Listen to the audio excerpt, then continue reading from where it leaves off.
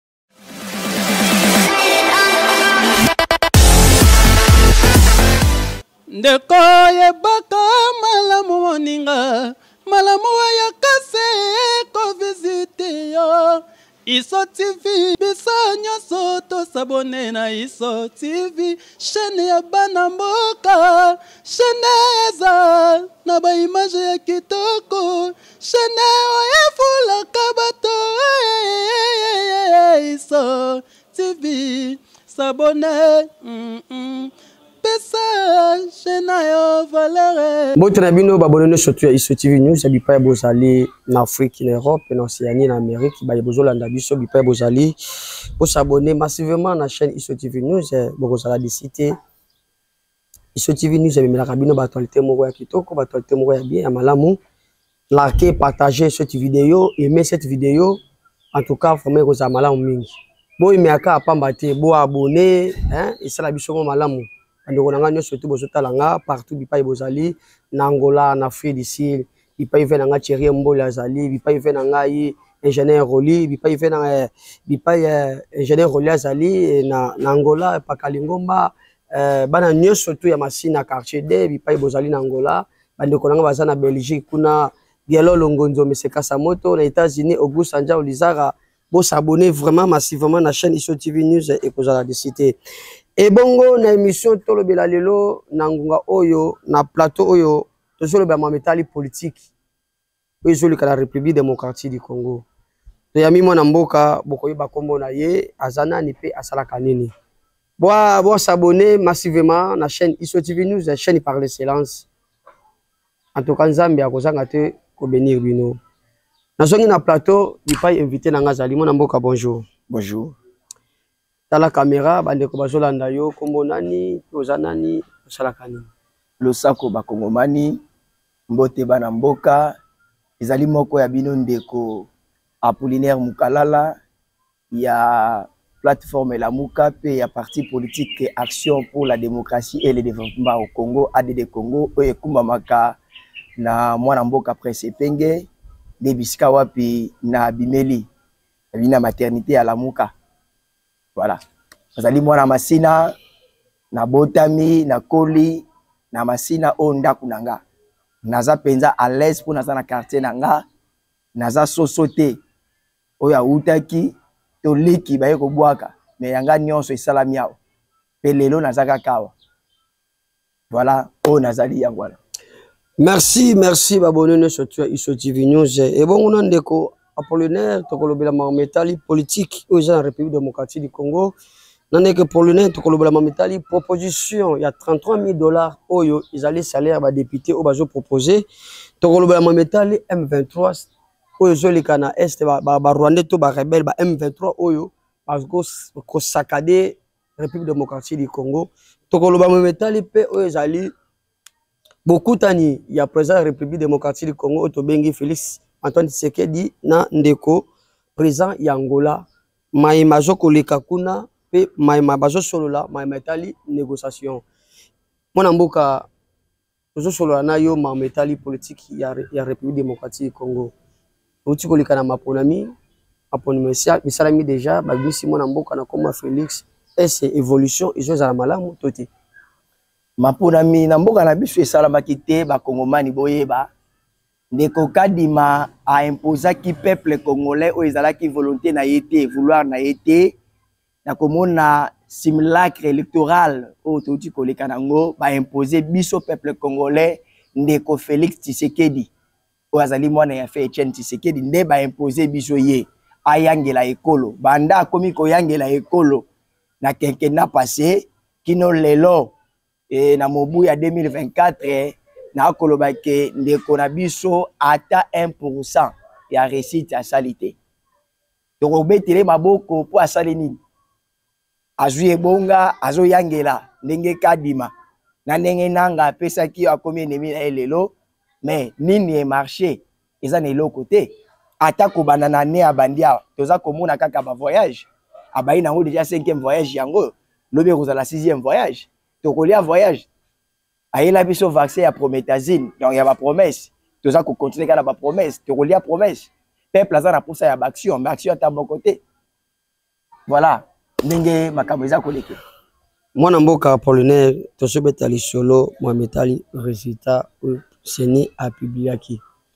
Yo oyebi ete ba kongomani ba votaki massivement Felix Antoine Tshisekedi mpo totalaki pourcentage na ndenge esalamaki mais kote na bino ke olingi koloba ke non election vraiment ezalaki ya bwa te to ndenge nini? Election etikali kosalama te, tozalaki na nomination soki bolandi yango malamu ntango babimisi mwana mboka Felix lokola mokonzi ayangela quelques jours après ndeko kadima aza koloba na biso ils sont nommés députés ils sont nommés conseillers municipaux seke tozalaki na nomination soki ezalaki élection bakoloba de bavotaki ye azwi motango boye bobetela ye moka koswa mais moto banome ye seke baimpose biso ye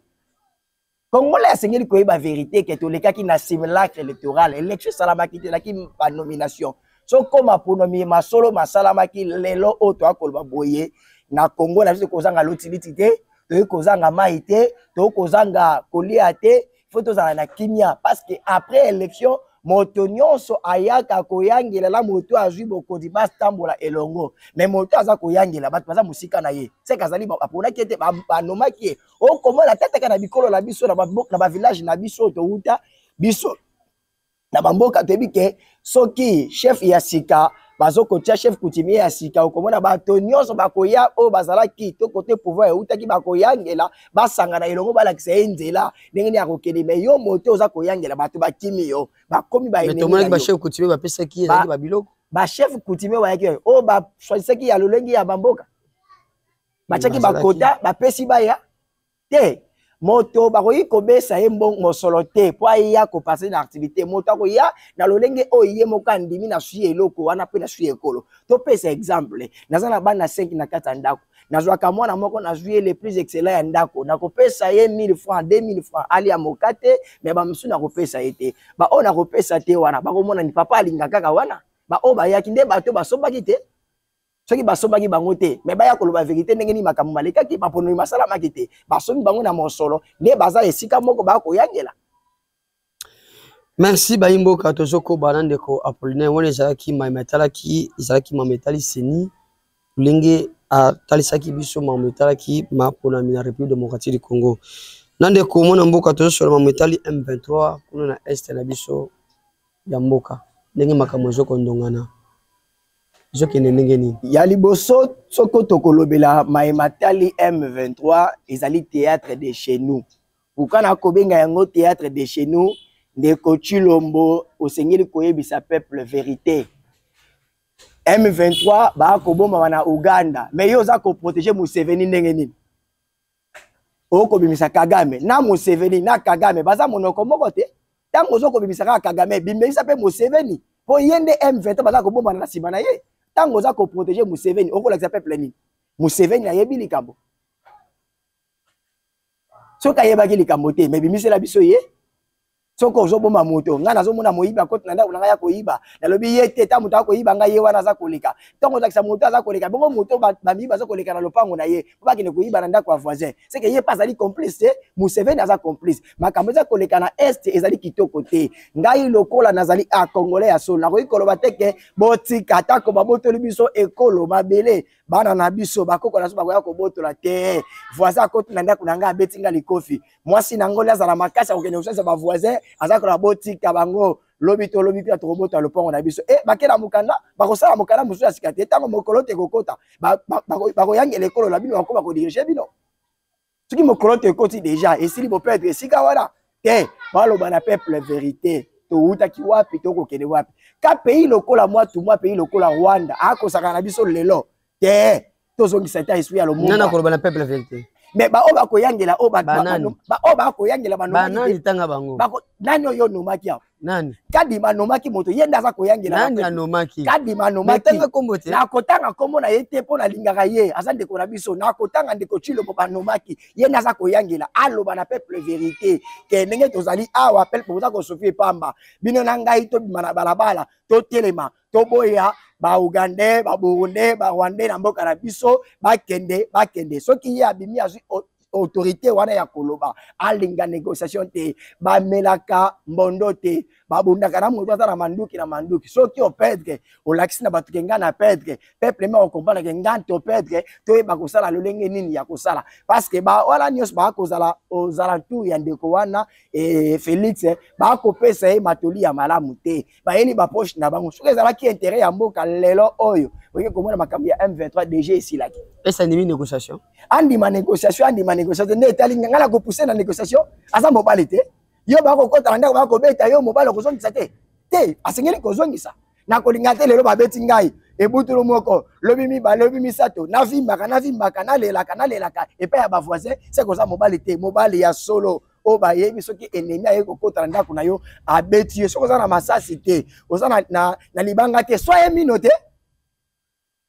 Likez, partagez, aimez cette vidéo. Bipaye Bozali, abonnez surtout à ISO TV News. Mon amboka polonais. Est-ce que vous avez une histoire de Mboko bien bien? soki nalobi nayebi histoire ya mboka oyo te seke nakosi ngai nasali science politique euh, mm. na université de kinshasa na unikin na en passant je sali mpe à son âme le professeur euh, samba kaputu napesi mbote na professeur euh, euh, kalombo musau napesi na professeur arsène mwaka napesi apollinaire ipaya ikoko napesi mbote na toussaint chilombo sene napesi mbote na professeur jean pierre lotoi napesi mbote na baye baonso bami na ngai ya elite ya inikini kobanda g1 ti na l2 oyo tosilisaki na bango elongo nzambe abatela bino koloba histoire ya mboka kobanda eh, 1885 kino lelo nayeba yango te mpo na nini nakoyeba yango mpo nazali congolais avant 1996 mboka ezalaki ndenge avant 1996 tozalaki na mwana mboka oyo tobengaki na nkombo ya maréchal mobutu mhm. ezalaki koyangela ekolo kimia ezalaki na ekolo ekolo ezalaki bomoko union ezalaki eza te ke ndenge toza na yango lelo lelo oyo kimia ezali te na kati ya ekolo mpo na nini bokabwana ekoti likolo ya tribalisme oyo bayeli biso na bandeko bayangeli na nsima ya, ya mobutu na kasavu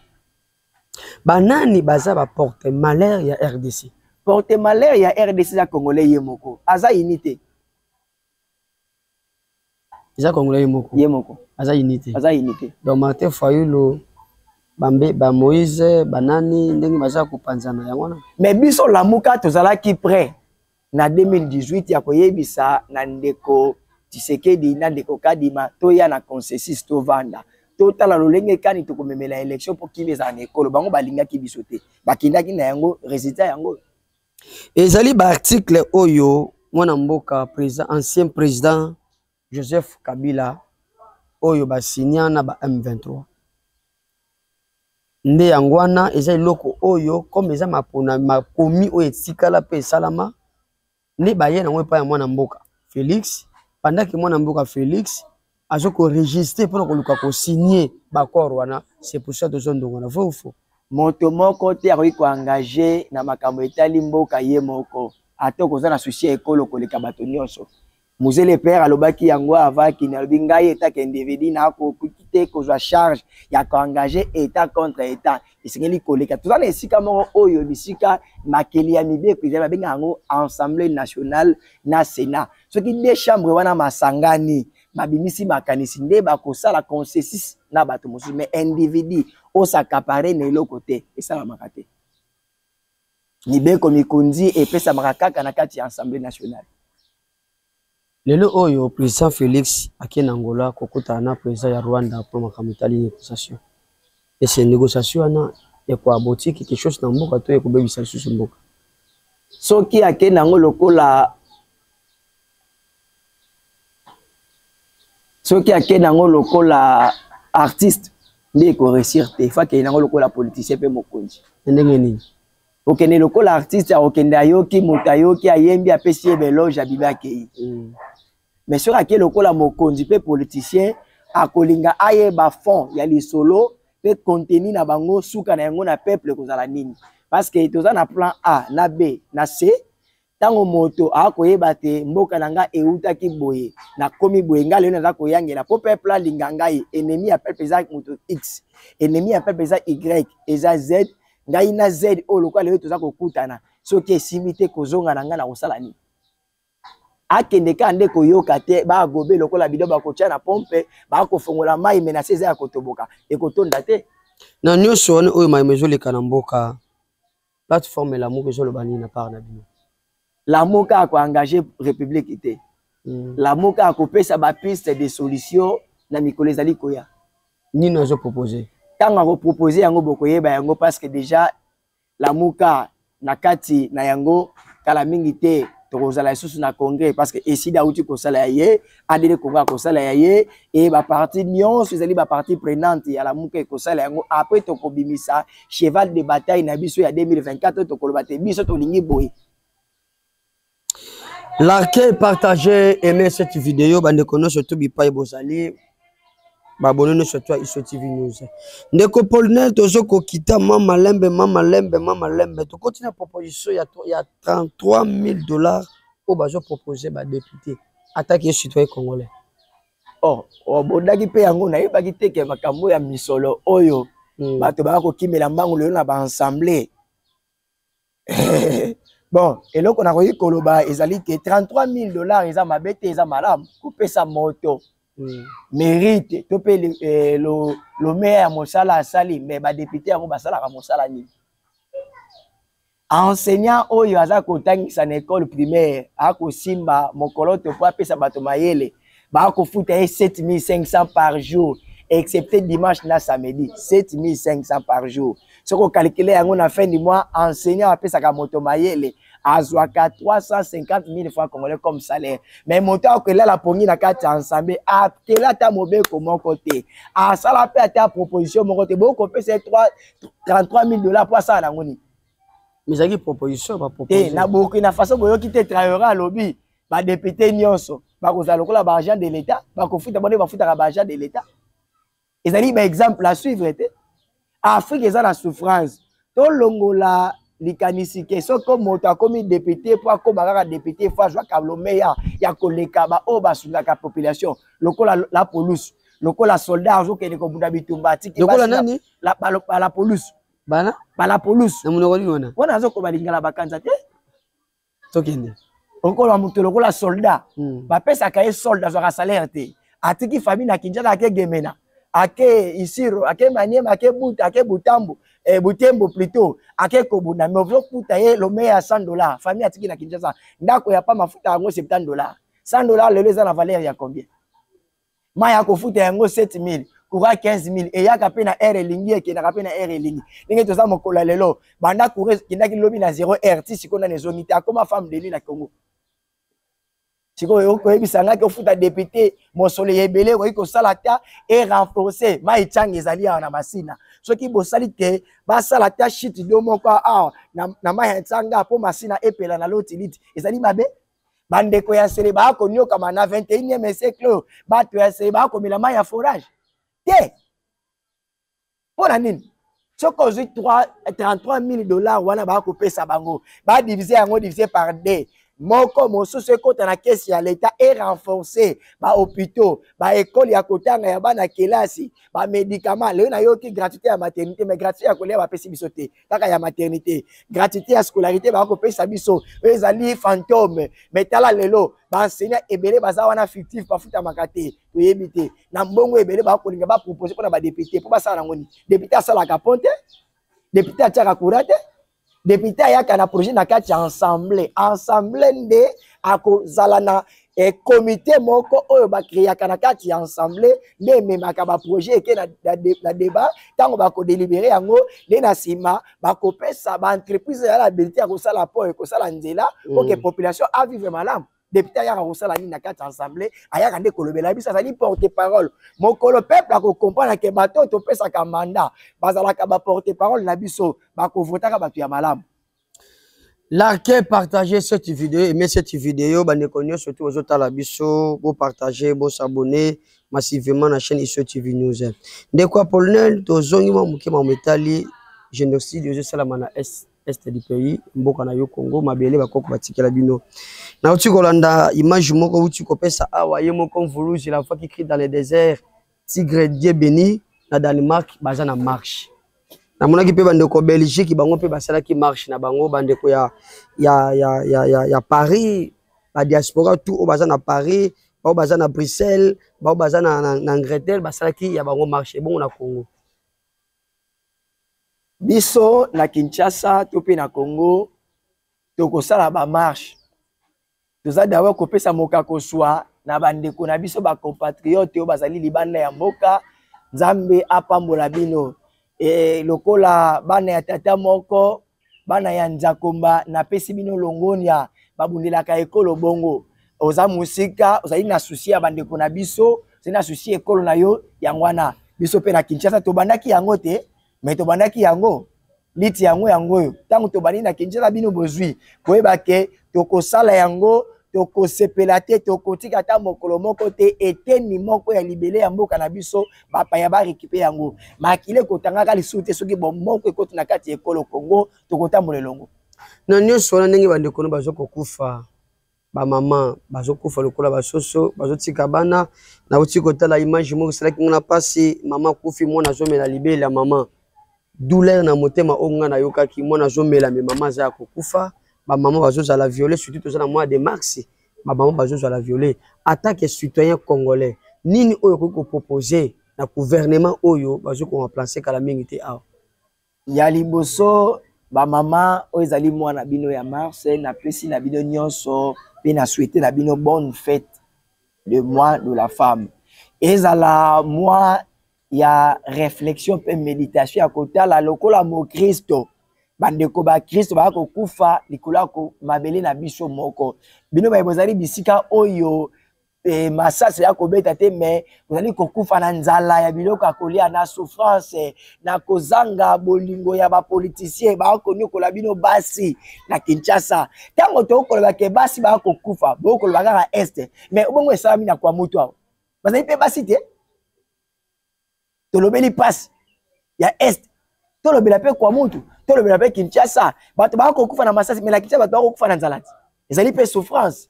bamama batata tozali nsima na bino bamama banso boyebake lokola moto oyo nazali na humanisme ya bomoto nazoyebisa na bino tokotika bino te tokobunda tokosenga na guvernema oyo bakotiela biso ya sika soki ozala guvernema ya solo e guvernema ya bolingo guvernema oyo ekoya kosangisa etombola ekolo congo eloko ya liboso boyeba droit de la femme bopesa mwasi nyonso azala majeur azala minere azala mama place na ye azala na baliberte azala na baimportance azala mpe na participation na kati ya guvernema oyo bokobimisa soki bakozala eh, 100 pourcent na kosenga ata 40 pourcent ezala basi bongo soki ata premier ministre abimi mwasi mabe ezali wapi akoyangela mpe ekolo te tomeka nanu tomeka naino tomeka naino kotala nini tosengeli kosala mpo mboka ekende malamu bamama tokotika bino te tokosambela kimia ezala bino nde bobotaka biso soki tokolina bino tokoboma bino banani bakobota bana ya lobi bozali berceau ya humanité bozali berceau oyo emultipliaka monde soki totiki bino mosika na biso ekolo ekokende liboso te merci na bandeko nyonso oyo bozotala biso tokomi koshite mwa malembe malembe na émission ya politiki ya mokolo ya lelo na plateau na biso tolobela napesi mbote na ngai epai ya lm ipupa chiko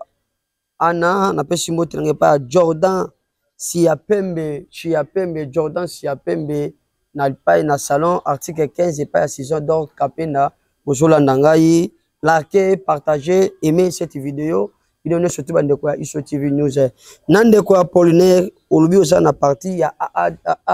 add congo vision mpe surtout ya add congo ezalaka nini mpe eza parti ya nani add congo ezali parti ya mwana mboka prince epenge ye nde azali kokamba yango oyo lelo oyo tozokolela kaka makambo etali simulacre électoral biso na kati ya add congo tozali na vision oyo ezali te le congo merite mieux pour que congo e merite malamu esengi na ba dirigeant oyo bazali digne bamediocre te baoyo bazali na meritocratie baza komerite koyangela biso tala vision na mwa mokuse ya add congo ndenge tolobaka add congo le congo merite mieux add congo l'unité pour la divergence add congo nous sommes prêts pour vaincre la république Ndeko Paulin tokomi ko chute na emission na biso ya mokolo ya lelo toza kaka na makambo etali Est ya mboka na biso lelo oyo bitumba oyo depuis tobotama ti tokomi na lelo oyo depuis 1996 bato banda kokufa ti lelo oyo bazo continue kaka kokufa ADD Congo oyo ezali parti ya ndeko Mpenge bozo kokanisa nini bozo kopropose nini a tozomona badiaspora na danemark baza na bamarche bandeko na france na france na bruxelles baza na, baza na marche na états-unis mpe nauti komona bapublication na bango bango mpe bazo marche ebongo aparti ya ndeko epenge biso add congo tosalaka makambo biso moko te mpo na nini tosalaka makambo biso moko te tozali na plateforme na biso tosalaka makambo engebene na kolanda statut na règlement d'ordre intérieur ya plateforme na biso ezali lamuka donc toyaka na babiloko na biso tokokotisa na kati ya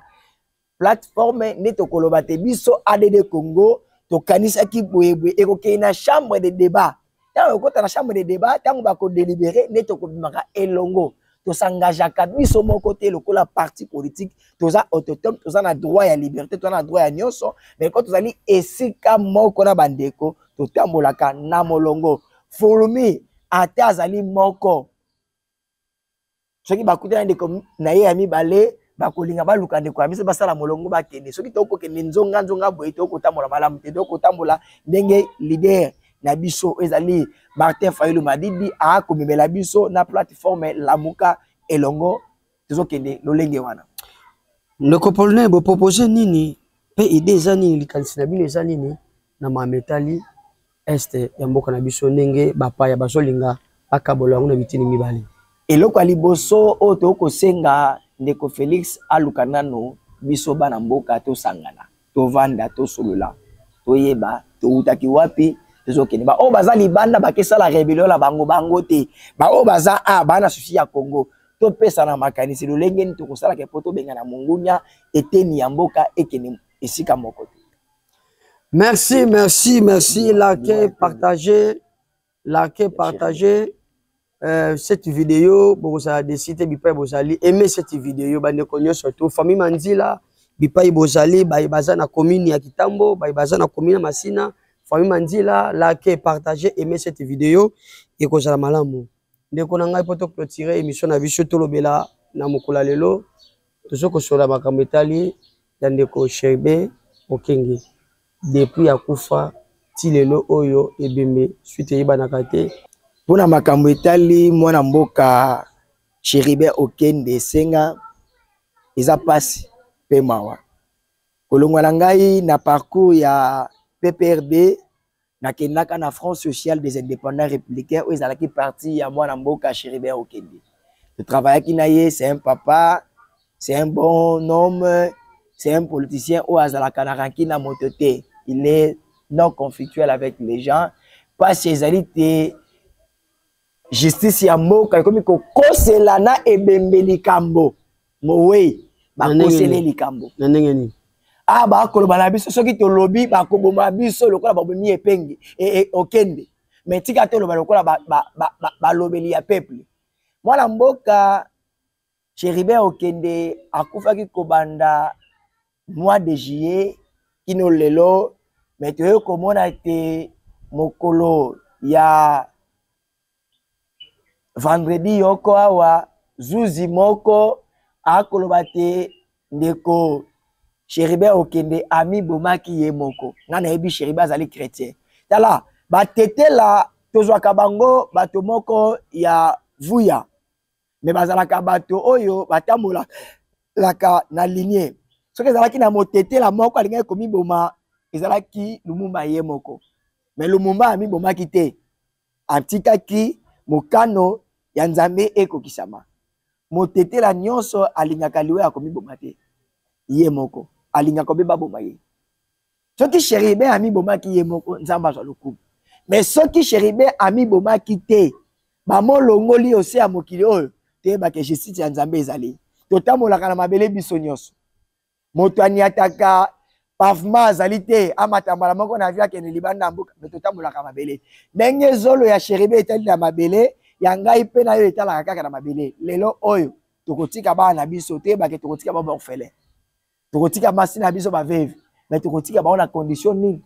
topesa famille baninga mpasi te mpo na intere ya mokakoswa mpo na intere ya mosolo oyo bapesi yo okosela ebembe likambo me topesa mboka intere moko oyo lobi justice kozala malamu bato bakosepela te na rdc après lumumba après kasavubu après mobutu après kabila après joseph après félix to panda félix tomoni justice ya solo tala justice ya solo nde yango justice ya ingérence te justice ya lokuta te justice ya lomeya te justice ya kaniaka te justice ya solo mpenza moto asali mabe botya ye na line na ye ya mabe moto asali malamu asala malamu na lolenge oyo ye asaleli tala mai tokoki koloba mpo na liwa esali mpasi